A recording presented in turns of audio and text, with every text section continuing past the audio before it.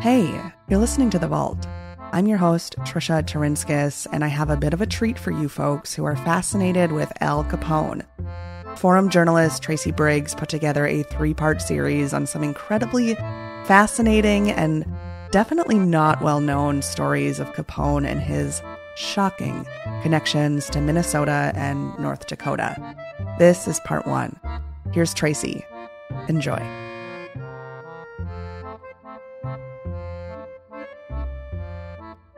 Has this ever happened to you? You go online to just look something up. No big deal. But soon you find yourself going down the deepest, darkest rabbit hole ever.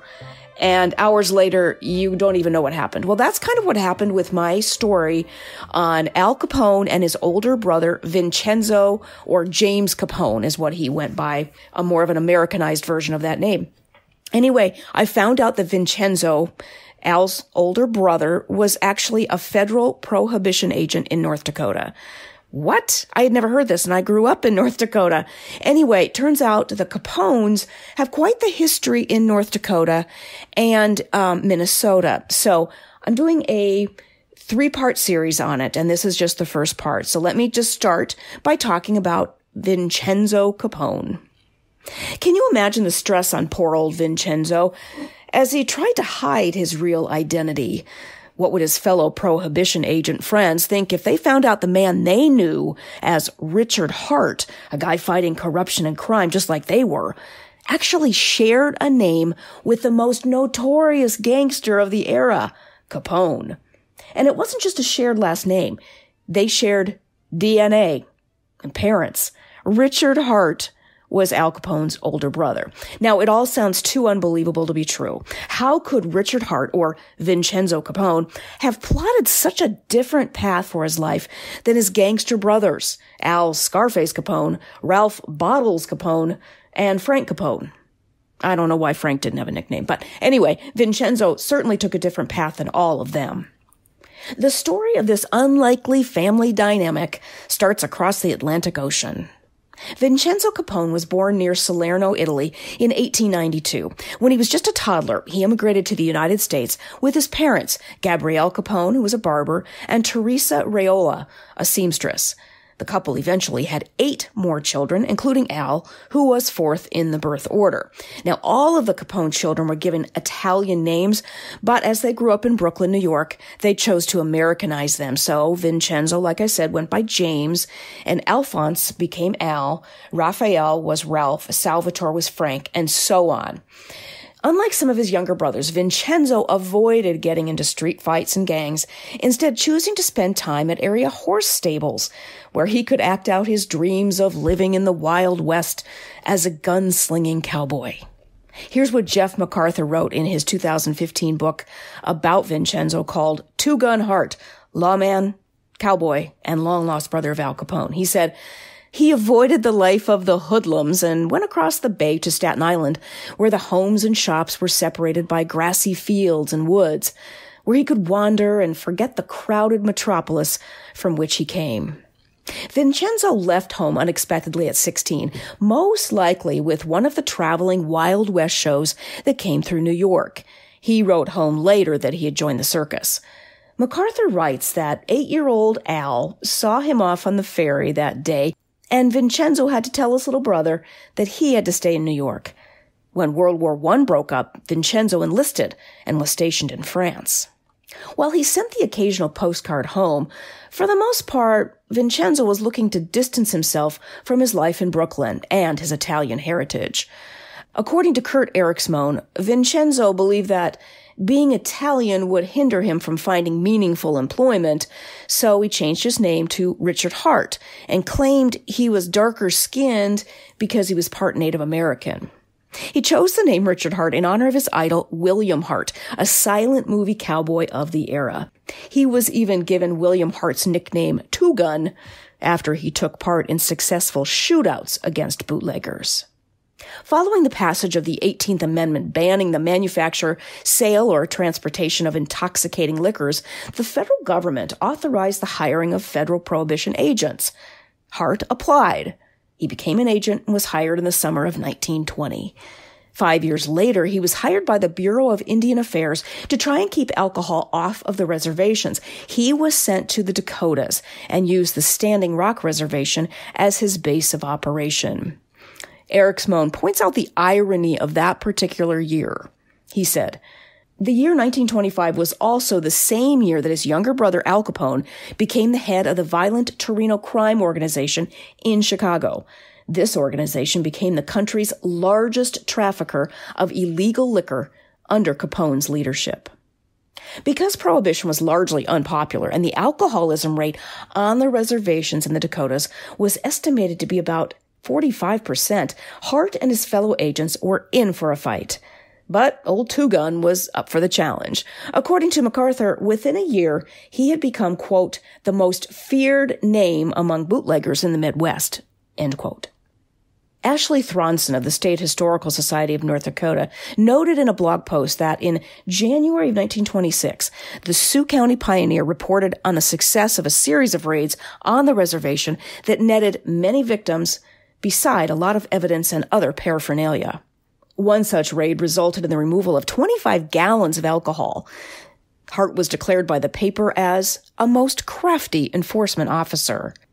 Because of his collaboration with tribal police in fighting poverty and alcoholism on the reservations, many tribal elders respected and admired him and even gave him a teasing nickname, translated from Lakota to mean big hairy thing. they might have also trusted him because of his claim to be part Native American and not Italian. In a promotional video for MacArthur's book, Hart's grandson, Jeff, said his grandfather connected with the native people, learning to speak a couple of native languages in addition to English and the Italian he had learned at home in Brooklyn. At this point, too, I should tell you there's a really cool uh, YouTube clip, um, a promotional video about the Two Gun Hart book, I would suggest you go there. Just search Two Gun Hart book promo, and it's it's ten minutes where the family is kind of talking about um, Two Gun Hart. There's also a lot of really neat pictures um, with this, and it's from they're from the Library of Congress and the State Historical Society of North Dakota. So if you're interested in seeing these pictures, I highly recommend you see them. They're pretty they're pretty classic old timey gangster photos, plus um, Richard Hart on the reservation with some tribal elders. Just go to my story on inforum.com and search Al Capone and Tracy Briggs, and that should bring you right there. It's lucky that Hart was on the reservation the exact same time as photographer Frank Fiske, who was there to document everyday life at Fort Yates and Standing Rock. The end result was a series of photographs showing Hart standing together with Native American agents and the liquor they confiscated. Fiske also shot cowboy portraits of Hart that probably satisfied that old desire to be a Wild West star. Again, you can find these photos on my story on inforum.com, or you can also look on the Library of Congress or State Historical Society of North Dakota. They're pretty, they're pretty funny. It's pretty clear Hart was proud of the work he did as a prohibition agent in North Dakota. Thronson said, according to records in Fiske's business ledger, Hart purchased 12 postcards of these cowboy shots of him for a total of $5, which was pretty big money back then. So here's a big question. Did Al Capone, his little brother, know about Vincenzo becoming Richard Hart? Well, it appears that he did. Newspaper reports of that time suggest the two men had been seen together even at the height of Prohibition. According to MacArthur, a Chicago photographer named Tony Berardi claimed to have met Hart and Capone together in 1924 when the gangster introduced his eldest sibling as a prohibition officer in Nebraska. This is what MacArthur says. Apparently proud of his brother, Al revealed no animosity toward him and was, in fact, showing him off. Richard, on the other hand, seemed in awe of the situation.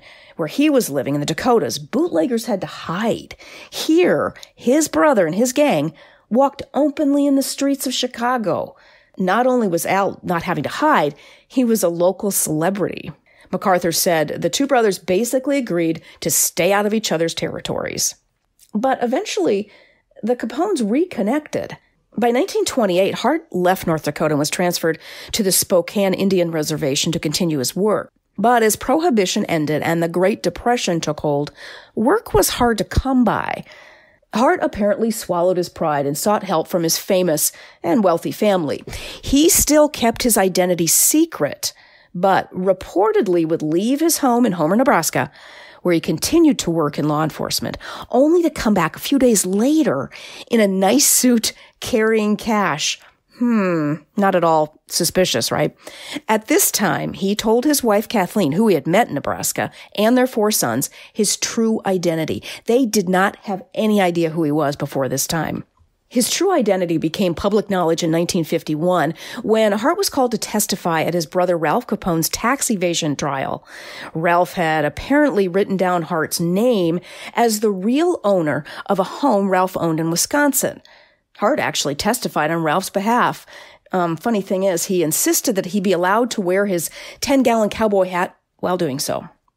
Some historians believe by testifying on Ralph's behalf that Hart was probably perjuring himself.